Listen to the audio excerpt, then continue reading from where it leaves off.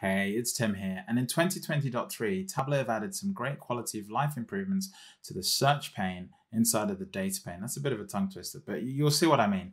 Um, if I head over to desktop here, you'll see here on the very top left-hand side, I'm just highlighting it now. You can see there's a search pane. And if I just start typing the term profit into that, you'll see that it essentially returns all the fields that have the term profit within them.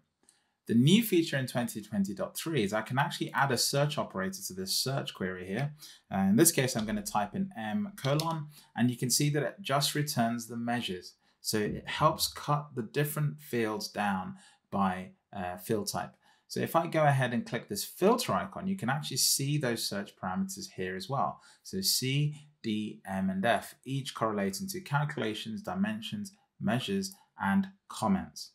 Now, the other thing to bear in mind is if I just type in a term and I forget to type it in in advance, okay, and let's, I hit the space there, so I only got three items. But if I remove that space and I go back to having my five items, I can still hit this filter icon, hit an M, and Tableau will prepend that search operator to the particular search. So you can still do it even after you've typed something. So it's actually a really nice sort of hack to basically search for something, head to the filter pane, hit the thing you want, and then you've narrowed the list down really, really quickly.